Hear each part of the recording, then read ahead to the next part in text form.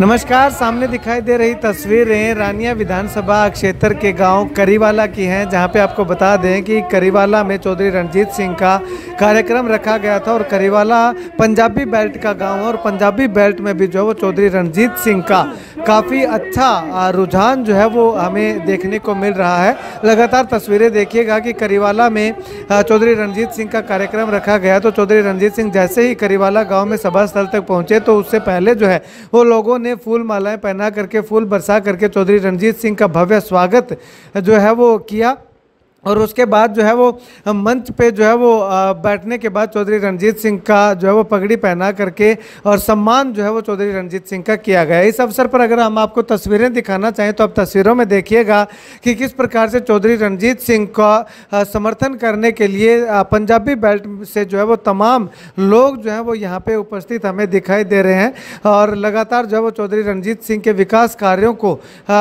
जो है वो हामी भरते हुए हाँ करते हुए जो है वो चौधरी रणजीत सिंह के साथ कदम से कदम मिलाकर चलने का आह्वान जो है वो लोगों के द्वारा किया जा रहा है। कुल मिलाकर के यूँ कहें कि जो चौधरी रणजीत सिंह ने जो विकास कार्य करवाए थे, उन्हीं के बदौलत आज चौधरी रणजीत सिंह जो है वो इस स्थिति में है कि लगातार जो है वो मुकाबला कठिन जो है वो होता जा रहा है। तो ऐसे में अगर बात करें तो आने वाले समय में चुनाव में क्या कुछ होता है, वो आने वाले समय पर निर्भर करता है। लेकिन फ़िलहाल की अगर बात करें तो चौधरी रणजीत सिंह लगातार अपने चुनाव को जो है वो उठाते हुए दिखाई दे रहे हैं चुनाव प्रचार प्रसार को गति देते हुए दिखाई दे रहे हैं। तो ऐसे में पंजाबी बेल्ट में जो है वो आप देखिएगा जो कि नामदारी बेल्ट इसको बोला जा सकता है।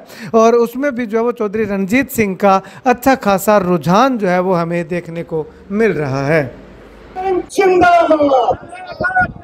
चौधरी सिंह जिंदाबाद।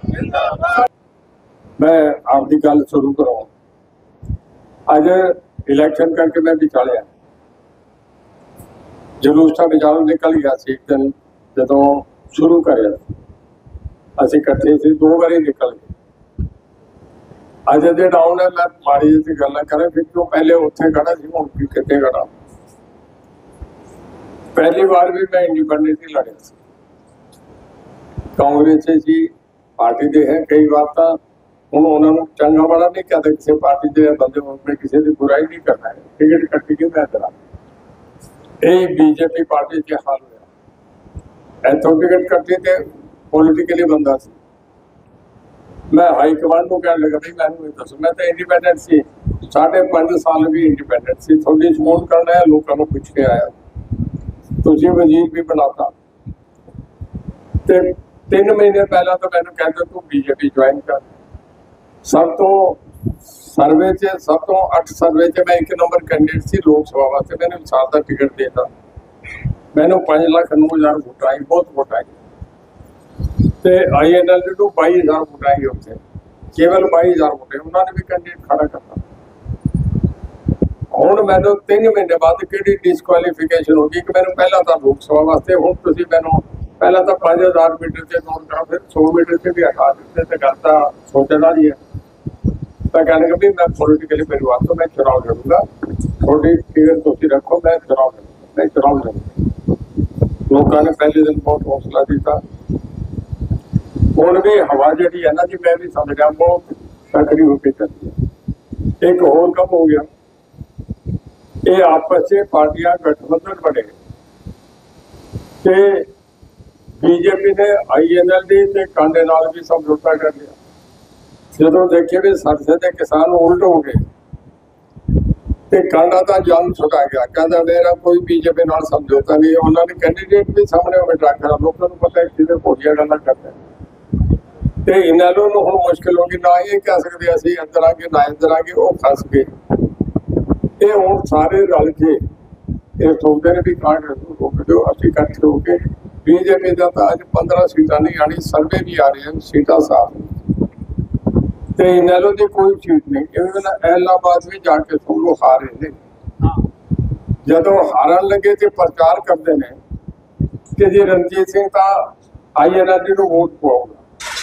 ਮੈਂ ਤਾਂ ਇੱਥੇ ਵੀ ਕਹਿ ਕੇ ਜਾ ਰਿਹਾ ਮੇਰੀਆਂ ਤਾਂ ਮੈਨੂੰ ਪਾਉਣੀ ਪਾਉਣੀ ਹੈ। ਐਲਾਹਾਬਾਦ ਹਲ ਕਹਿੰਦੀ ਵੀ ਮੈਂ ਤਾਂ ਖੁੱਲਾ ਕਹਿੰਦਾ ਭਗਤ ਸਿੰਘ ਨੂੰ ਪਾ ਦਿਓ ਜਿਹੜਾ ਕੋਈ ਮੇਰੇ ਮਿਲ ਇਹਨਾਂ ਨੂੰ ਸਾਰੇ ਪਾਸੇ ਰਹਿਣੇ ਚਾਹੀਦੇ ਝੂਠੇ ਬੰਦੇ ਨੇ।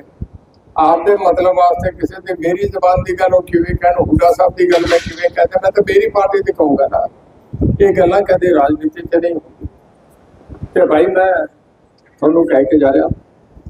ਤੁਸੀਂ ਸਾਥ ਦਿੱਤਾ। ਮੈਂ ਤੁਹਾਡੇ ਵਿਚਾਲੇ ਆਉਂਦਾ ਰਿਹਾ। ਮੈਨੇ ਕੰਮ ਕਰੇ ਜਿਹੜਾ ਸਭ ਤੋਂ ਪਹਿਲਾ ਵੱਡਾ ਕੰਮ ਕਰੇ। ਇਹ ਡਾਰਕ ਜ਼ੋਨ ਸੀ।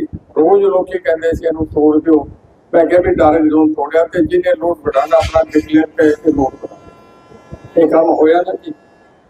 ਦੂਜਾ, ਐਸੇ ਇਲਾਕੇ ਤੇ ਜਦੋਂ ਪਿਛਲੀ ਵਾਰ ਫਲੱਡ ਆ ਰਿਹਾ ਸੀ, ਸਾਰਾ ਇਲਾਕਾ ਡੁੱਬ ਜਾਣਾ ਸੀ, ਬਣੀ ਸਰਪੰਚ ਬੈਠਾ ਹਾਲੇ ਤੱਕ ਵੀ ਬਣੀ ਆਪ ਦੇ ਹਿਸਾਬ ਨਾਲ ਨਹੀਂ, ਬਣੇ 60 ਸਾਲ 60 ਤੇ ਹੋਣੀ ਕੇ ਬਾਅਦ ਆਈ ਸੀ। 40 ਤੇ 64 ਸਾਲ ਹੋ ਗਏ, ਹੱਲੇ ਵੀ ਬਣੀ ਦੀ ਸ਼ਕਲ ਉਹ ਨਹੀਂ ਬਣੀ ਜਿਹੜੀ ਹੁੰਦੀ ਸੀ। ਤਿੰਨ ਥਾਂ ਫਸਲੇ ਜਿਵੇਂ ਰਣਜੀਤਪੁਰ ਠੇੜੀ ਫਕੀਰ ਵਾਲੇ ਠੇੜੀ ਵਸੀ, ਐ ਬਣੀ ਵਾਲੇ ਫਸੇ ਬੈਠੇ ਨੇ। ਤੇ ਅੱਜ ਮੈਂ ਕਹਿ ਰਿਹਾ ਵੀ ਜੇ ਪਿਛਲੀ ਵਾਰੀ ਮੈਂ ਰਾਤ ਨੂੰ 2 ਵਜੇ ਤੱਕ ਨਹੀਂ ਫਿਰਦਾ, ਤੇ ਇੱਥੇ ਡੀਸੀ, ਐਸਪੀ ਤੇ ਇਲਾਹਾਬਾਦ ਐਸਡੀਐਮ ਦੇ ਵਿਚਾਰਿਆਂ ਨੇ ਬਹੁਤ ਖੇਚਲ ਕਰ ਰਾਤ ਨੂੰ ਲਾਈਟਾਂ ਲਾਈ ਅਸੀਂ ਤੇ ਪਾਣੀ ਰਾਜਸਥਾਨ ਕੇ ਰਾਜ 8000 ਕੁਛ ਪਤਾ ਨਹੀਂ ਤੇ ਇਲਾਕਾ ਸਾਰਾ ਹੀ ਡੁੱਬ ਗਿਆ ਸੀ। ਇਹ ਸਾਰਾ ਕੰਮ ਕਰੇ ਰਣਜੀਤ ਸਿੰਘ ਨੇ। ਦੂਜਾ, ਬਿਜਲੀ ਵਾਲਾ ਕੰਮ ਬਹੁਤ ਪਹਿਲੇ ਦਾ ਬਹੁਤ ਇੰਪਰੂਵਮੈਂਟ ਹੈ ਪੰਜਾ ਸਾਲ ਇਹ ਕਿਸਾਨਾਂ ਦਾ ਬਹੁਤ ਵਧੀਆ ਕੰਮ ਕਰ ਰਿਹਾ। ਦੂਜੀ ਗੱਲ, ਹੁਣ ਮੈਂ ਕਹਿ ਰਿਹਾ ਵੀ ਇੱਕ ਵਾਰੀ ਫੇਰ ਸੋਚੋ, ਇਹ ਜਿਹੜੇ ਕੈਂਡੀਡੇਟ ਪੰਜ ਹੁਣ ਖੜੇ ਨੇ ਮੇਰੇ ਸਾਹਮਣੇ। ਪਿੰਡ ਨੂੰ ਸੱਚੀ ਗੱਲ ਤੋਂ ਪੁੱਛਿਆ, ਕਾਂਗਰਸ ਦਾ ਕੈਂਡੀਡੇਟ ਹੈ ਟਿਕਟ ਤਾਂ ਕੋਈ ਲੈ ਕੇ ਆ ਜੇ ਮੈਨੂੰ ਦੱਸੋ, ਕਦੇ ਤੁਸੀਂ ਉਹਨੂੰ ਸਰਵਮਿੱਤਰ ਕੰਬੋਜ ਨੂੰ ਕਦੇ ਕਰੇ ਵਾਲੇ ਪਿੰਡ ਦੇਖਿਆ ਕਿ ਬੈਠੇ ਸਾਰਾ? ਨਹੀਂ ਆਇਆ ਨਾ ਕਦੇ ਸਿਸਪਾਲ ਕੰਬੋਜ ਤੁਹਾਡੇ ਪਿੰਡ 'ਚ ਆਇਆ? ਤੇ ਉਹਦੇ ਬਾਅਦ ਆ ਜਾਓ ਤੁਸੀਂ। ਫਿਰ ਇੱਕ ਹੈਪੀ ਕੰਬੋਜ ਹੈ ਕਦੇ ਪਿੰਡਾਂ 'ਚ ਆਏ ਮੈਨੂੰ ਦੱਸੋ। ਫਿਰ ਅਗਲਾ ਆ ਜਾਂਦਾ ਸਾਡਾ ਹੀ ਪੋਤਰਾ।